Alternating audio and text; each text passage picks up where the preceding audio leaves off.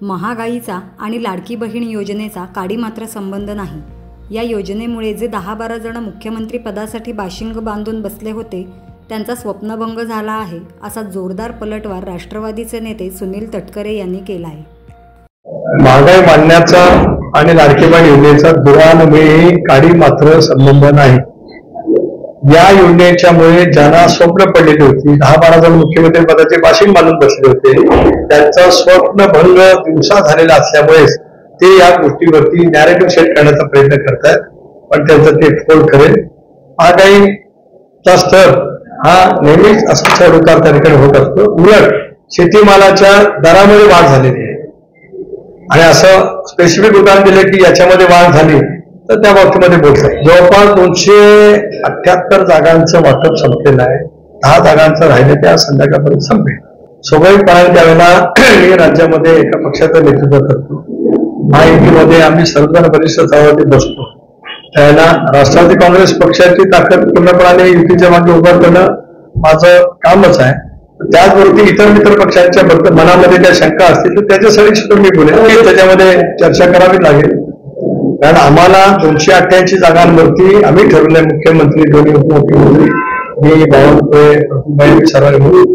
दोनशे अठ्ठ्याऐंशी जागा महायुती म्हणून लढायच्या आहेत आणि जिंकायचं आहे या निर्धाराने आम्ही उतरलेले आहोत. त्याच्यामुळे घटक पक्षांच्या म्हणजे स्वतःचा पक्ष सोडून म्हणजे समजा मी राष्ट्रवादीचा आहे पण उद्या काही ठिकाणी शिवसेनेच्या सहकाऱ्यांच्या मनात काय असेल इथलं नाही म्हणतो मी इतर ठिकाणी. किंवा भारतीय जनता पक्षाच्या सहकार्यांच्या मनात काय असेल तर त्या बाबतीमध्ये सुद्धा एक चांगले सलोख्याचे उत्तम समन्वयाचे संबंध असल्यामुळे त्याचा आम्ही सगळीकडेच प्रत्येक जण आपापल्या पद्धतीने हे करणार. बघूया त्या दृष्टिकोनातून आता तरी आम्ही तीन पक्ष आणि त्यांच्यासोबतचे मित्र पक्ष त्या दृष्टिकोनातूनच प्रत्येक जण आपला विचार करतो पालकमंत्र्यांना काय वाटतं ते त्यांनी बोलावं. राजेश बेंडल हे मूळ राष्ट्रवादी काँग्रेस पक्षाचेच होते. आहेत. आता का निवडणुकीच्या तोंडावरती असा कोणी काय घाई केली ते मला कळलं नाही. आता एखाद्या प्रकार अशी अनादायी घाई करण्याचा काहींचा उत्साह असतो. त्यातला तो एक उत्साह कदाचित कोणीतरी दाखवला असेल. त्या गुहागरच्या जागेचा निर्णय झालेला नाही आज आज रात्री का उद्या होईल? कोणा पक्षाला राहील त्याचा निर्णय झालेला नाही. उमेदवारांचं काही गर्दीने इकडे तिकडे नेण्यात काय अर्थ असं मला स्वतःला काय वाटत नाही. म्हणजे शंभर टक्के. सामंतवाडी कुडाळ वेंगुर्ला राजापूर रत्नागिरी चिपळूण गुहागर दापोली महाड शिवर्धन ते अलिबाग माझ्या माझ्या लोकसभा मतदारसंघात येणारा संघ बाकी तिकडे आहे सगळीकडे उत्तरेकडे उत्तर रायगडमध्ये त्याच्यानंतर मग ठाणे जिल्हा आहे पालघर जिल्हा आहे. ठाणे जिल्हा तर मुख्यमंत्र्यांचा स्वतंत्र बाले किल्ला आहे. तिथे दोन लोकसभेच्या जागांमध्ये मोठ्या मताधिकाने यश मिळवले महायुतीने आणि शिवसेनेने. पालघरमध्ये यश मिळालेलं आहे. लोकसभेच्या वेळेचं चित्र आता पूर्णपणाने बदलले. अतिशय प्रतिकूल परिस्थितीमध्ये आम्ही त्यावेळेला यश मिळालं म्हणजे सगळ्यांनी महायुतीमध्ये.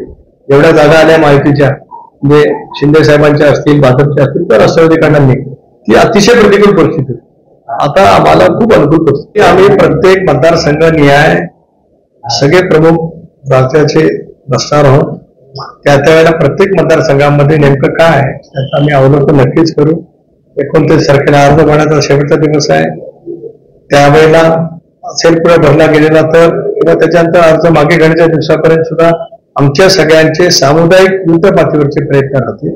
आणि सगळेजण पूर्ण ताकदीने पूर्ण क्षमतेने महायुतीच्या उमेदवारांच्या मागे राहतील. या दृष्टीकोनातून प्रयत्न शंभर टक्के होतील. मी कोकणातला आहे मी इथला खासदार आहे त्यामुळे मलाही त्याची अधिक जबाबदारी घ्यावी लागेल आणि ती मी घेईन. भाजपच्या नेत्याशी जरूर बोलेन.